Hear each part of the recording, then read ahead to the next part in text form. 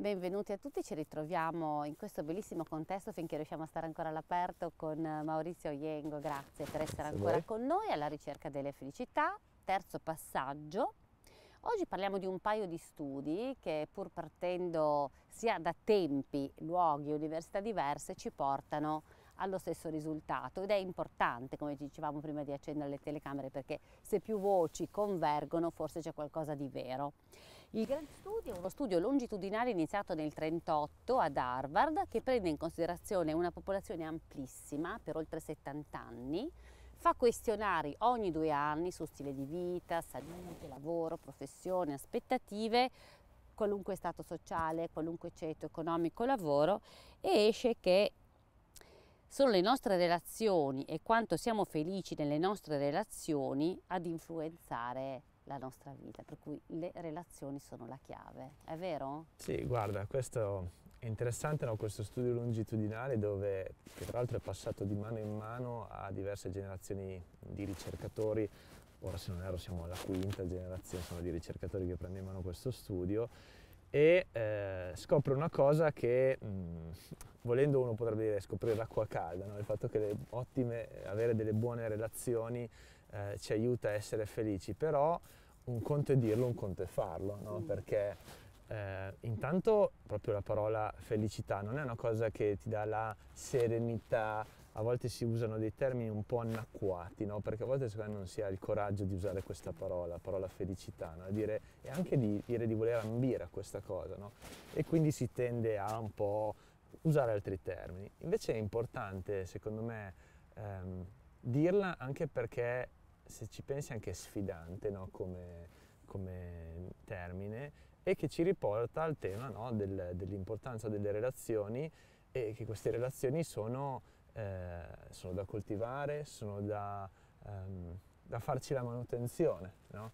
eh, quindi non, non, lasciarla andare, non pensare che una volta che una relazione si è costruita o instaurata, è partito la, la scintilla, allora poi si mantiene da sola. No?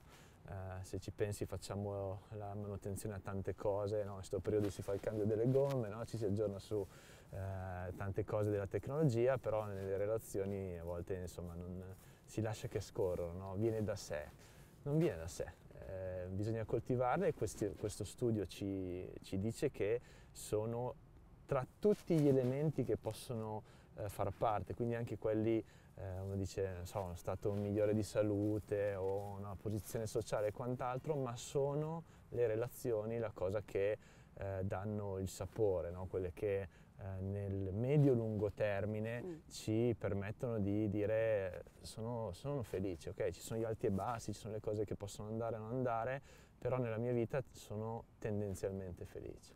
Anche perché le relazioni, se le vogliamo coltivare e credo che anche custodire sia un altro bel verbo da accompagnare le relazioni, ci impongono di uscire da noi, cioè di fare un passo verso l'altro, proprio perché la relazione non vive di vita propria, quindi questo è un altro di una ricerca che adesso tu eh, in parte ci illustrerai, quella delle famose zone blu, dove dice anche che un'altra eh, chiave per essere felice è quello dell'impegno per la collettività dentro la quale si vive, il darsi da fare anche per gli altri e anche questo implica un po' un uscire da sé, no?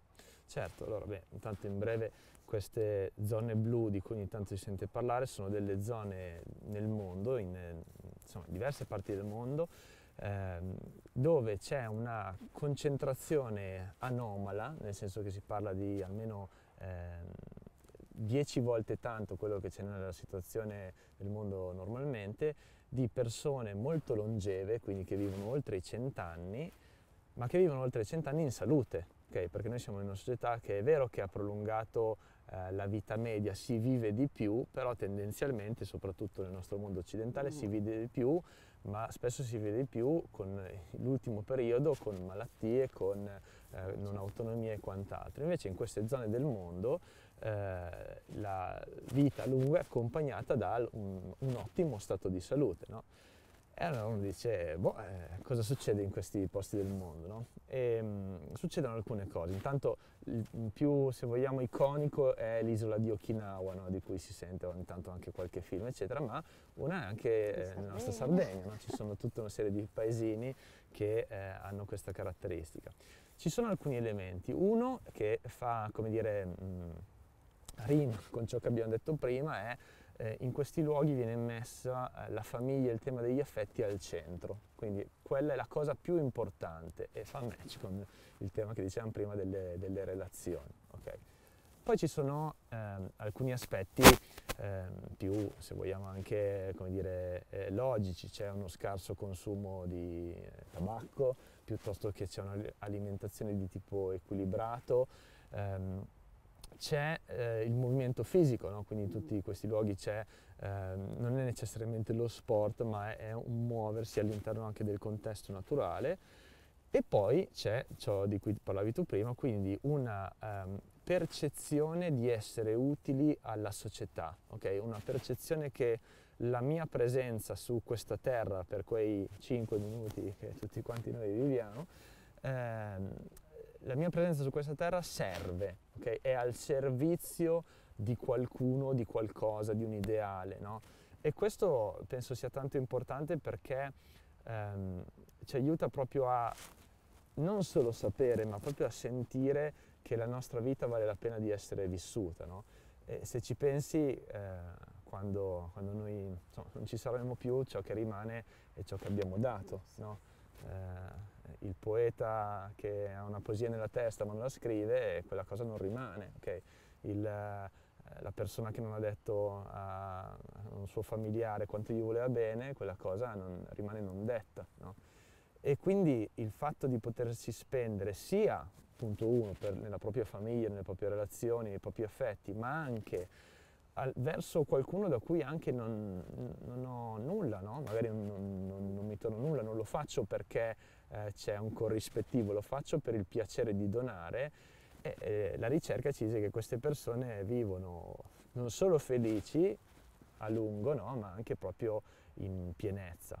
Poi ci sono alcuni aspetti anche legati al prendersi del tempo di introspezione, non abbiamo parlato varie volte, no? quindi può essere un aspetto più di connessione con se stessi, che cosa si prova, cosa si pensa, l'aspetto della meditazione, l'aspetto anche del, della preghiera.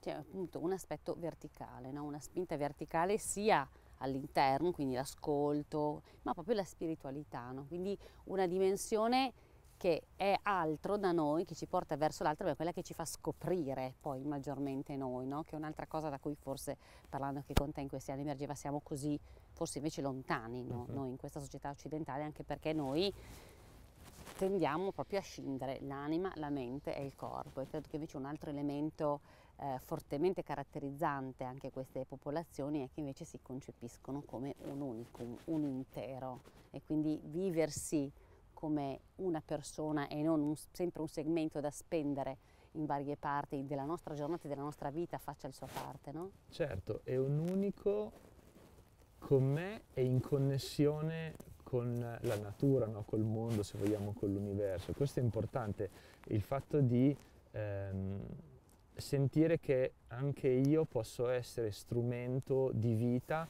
in tutti i modi in cui mh, mm, possiamo esprimere questa parola, ok? Quindi dal, uh, appunto dal, dal, dalla vita, nel, quello che può essere il mio piccolo contesto, ma anche poi, poi allargando. Questo, questo è sicuramente un elemento centrale.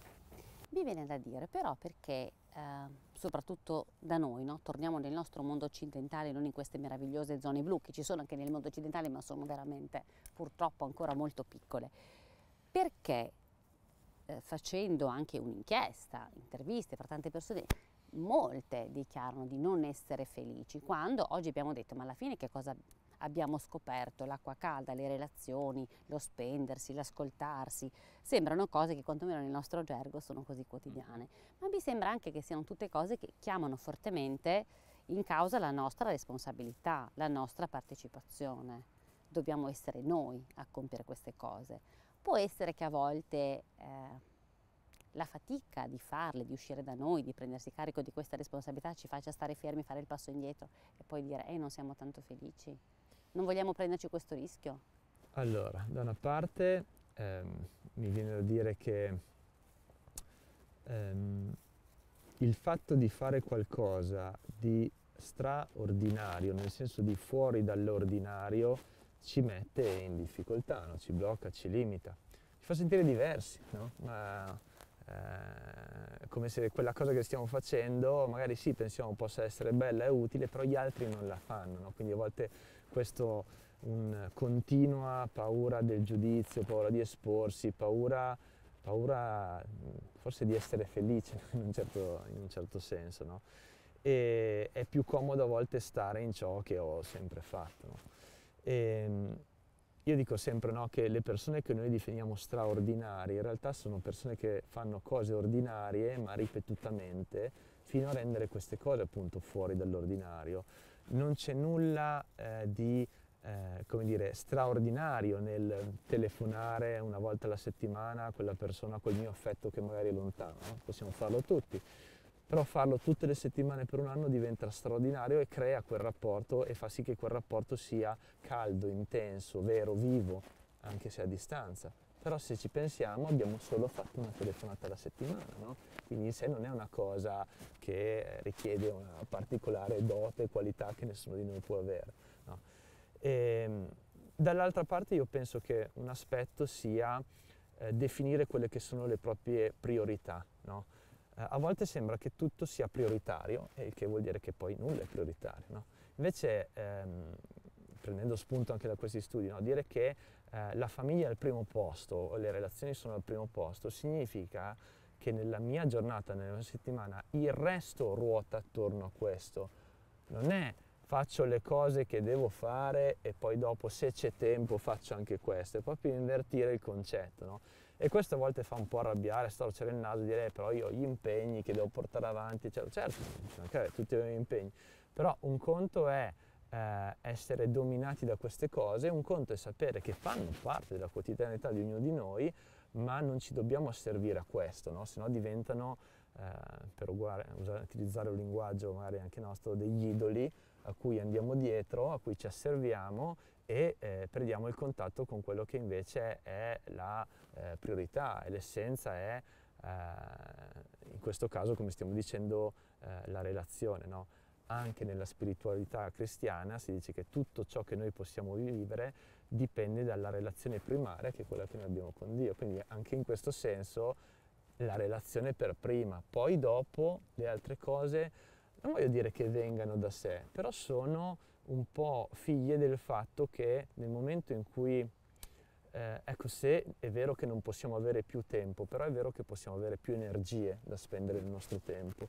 Quando la nostra parte centrale, no, possiamo dire, la nostra anima è nutrita di un'energia bella, di un'energia piena che deriva dallo stare in relazione, dal sapere di avere una vita che ha uno scopo, di sapere che stiamo donando qualcosa, beh allora magari è vero che il tempo rimane quello, però ho energia da vendere, da regalare, allora a quel punto eh, posso anche giocarmi in modo diverso anche nelle mie giornate, anche in quella mezz'ora, quarto d'ora, ora che riesco a ricavarmi in mezzo a tutte quelle che sono le cose che sono urgenti ma magari che sono meno importanti.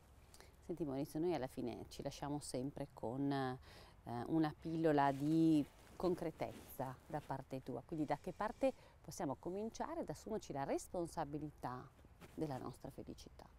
Ma guarda, io prenderei spunto appunto, visto che è stato un po' un argomento che abbiamo toccato oggi, no? quello delle zone blu, se gli elementi sono ehm, l'importanza della famiglia, dello spendersi per gli altri, l'alimentazione, il movimento, ok? Ehm, il non usare sostanze come il tabacco, ok? Mm, l'esercizio potrebbe essere provare a prendere ognuna di queste aree e provare nel corso del, di questo periodo, da qui alla prossima puntata, di fare una cosa infinitesimamente infiniti, eh, piccolissima, una cosa piccolissima che ci aiuti a migliorare in quello, che può essere fumare una sigaretta in meno al giorno per chi fuma, oppure può essere il fare quella telefonata a quel familiare o eh, chiedersi qual è una cosa piccola che posso fare per essere di aiuto anche solo al mio vicino di casa, no? eh, migliorare di un filino la mia alimentazione, non so, magari iniziare a mettere meno zucchero nel caffè oppure il movimento, no? può essere eh, fare 5 minuti di passeggiata mentre invece eh, non, fa- non facciamo neanche quei 5, quindi proprio piccoli passi, il cambiamento spesso è eh, come l'aurora, no? quindi qualcosa che arriva lentamente, non è da oggi al domani. Okay? Ci sono anche i cambiamenti eh, dire, sulla via di, di Damasco, no? però tendenzialmente la maggior parte dei cambiamenti sono lenti, all'inizio sembra che non succeda niente, ma in realtà sta succedendo qualcosa dentro di noi. Bene, grazie Maurizio. Allora buon lavoro a tutti noi, direi, e ci vediamo tra un mese prima di Natale. Alla prossima.